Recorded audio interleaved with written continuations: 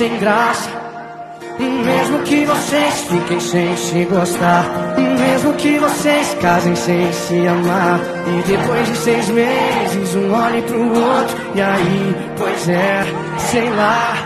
Mesmo que você suporte esse casamento por causa dos filhos, por muito tempo 10, 20, 30 anos até se assustar com os seus cabelos brancos. Um dia vai sentar numa cadeira de balanço.